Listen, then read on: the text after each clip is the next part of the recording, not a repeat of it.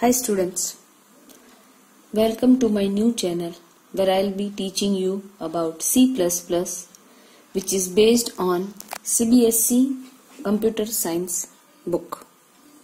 This. The author is Sumita Arora. Okay. First of all, I'll teach you how to install C++. So for that, you will have to type C software as I have searched it it will automatically come. It will take 2 to 3 minutes to open it. Then the second or third link. You can click on it where it is written download turbo C. It is on a process. Yes. This way you will see a website open. Here at the bottom it is written download turbo C++ as you, as you will click on it it will give you a download option. The bottom it will be seen. Yes. Can you see this? It is downloading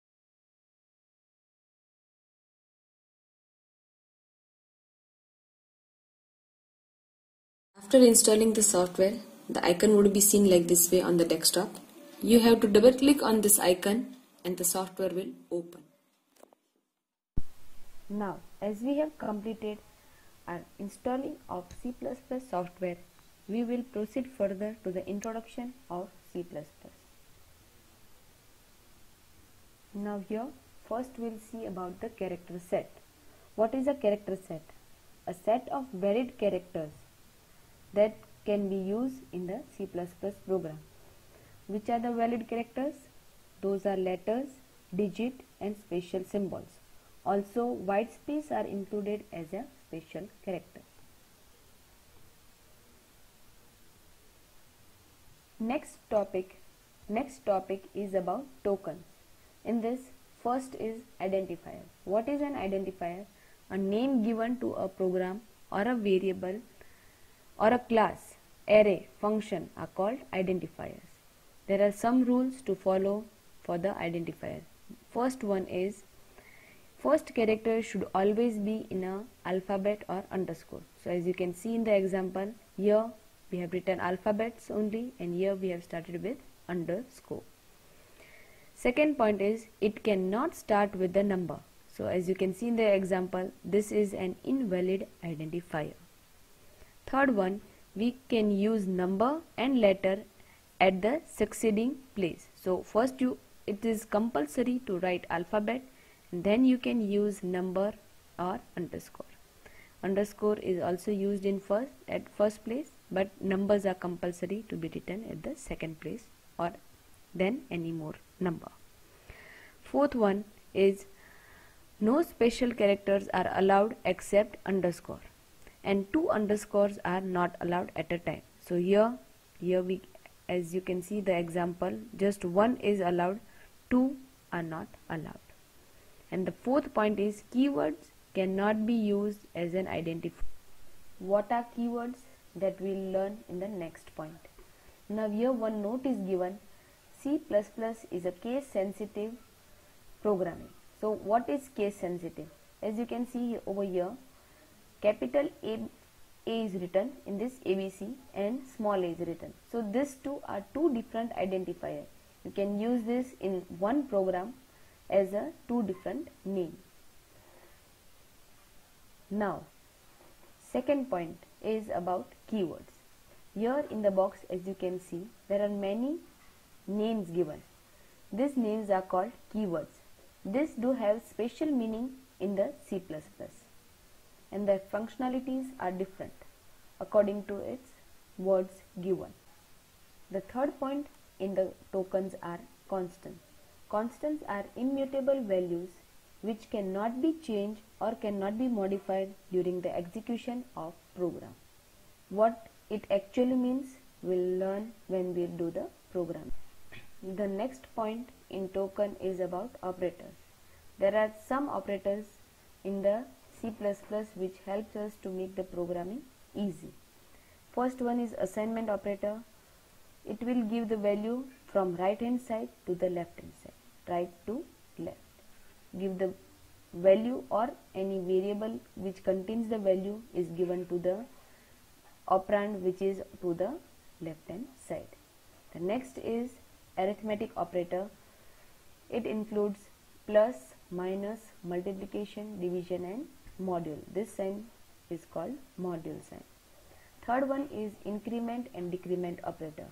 Increment which increase the value by 1 and decrement will reduce the value by 1 relational operators. It shows the relation between two conditions or two operators.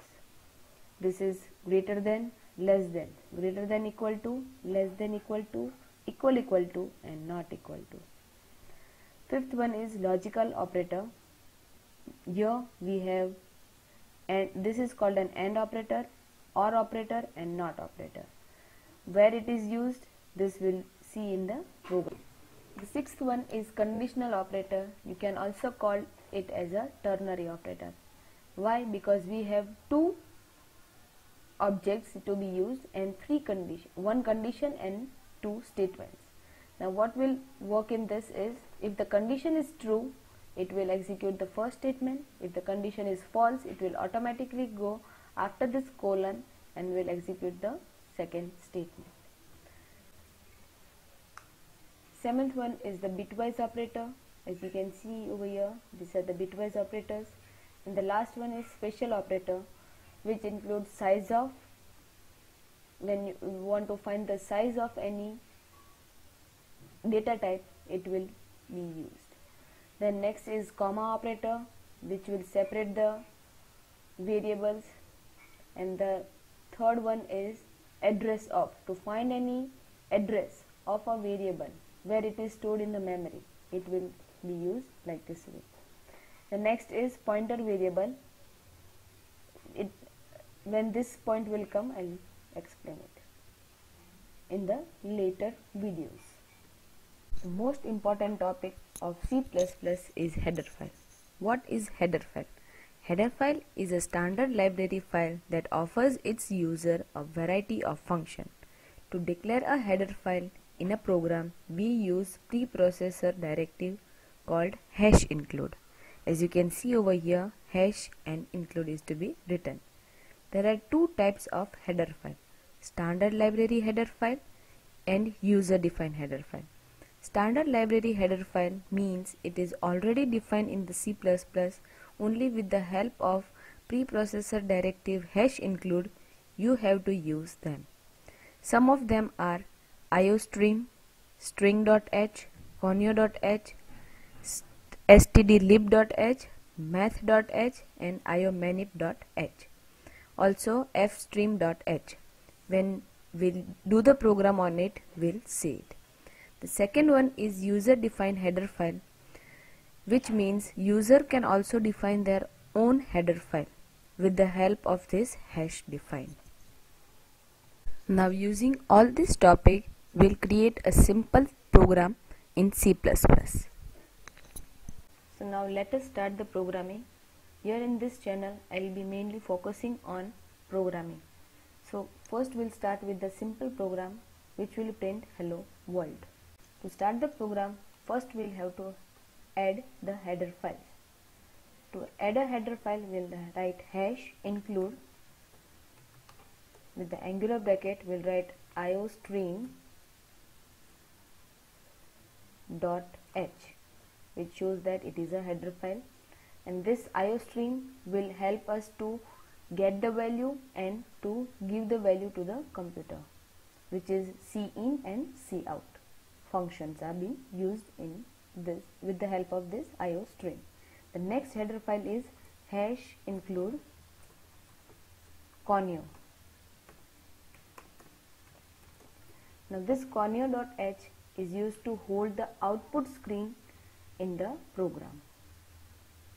After writing header file, we'll use the main function with the data type void void main with the parenthesis and as it is a function we'll use the curly braces.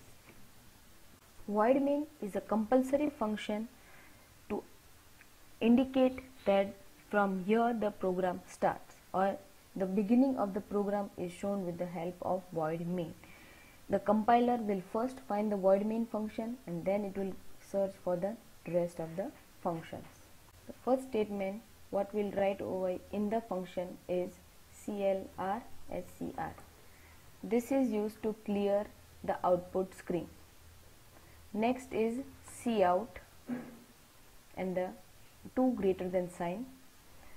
Then in the double quotes we'll write the text. This would be printed whatever text which is, which is written within the double quotes would be printed as it is. The use of cout function is for printing the data onto the output screen. The cout is a keyword to take the data whatever is written between the double quotes. So I here I'll write hello world. Hello world. Yes. Then I'll go to end. The last statement what I'll write is get ch.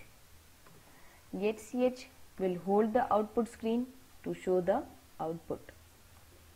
Now first we'll compile the program by clicking on compile and clicking on this button or you can use a keyboard where you have to press alter plus F9. Here I, for the first time I'll click with the mouse. There are no errors. Yes, we can run the program. Click on run and yes, you can see over here we got the output hello world. This was the first program where you have seen the header files being used. This is the void main function without which the program will not run and cout will execute the statements which are written in between double quotes. Here in the program at the end I would like to say that please do not forget to write this semicolon because then it will show you the error and the program will not run. Now for the next session we'll use data type and variables. Till, till then stay tuned and please do subscribe my channel. Do not forget to like, share and comment on my video. Thank you.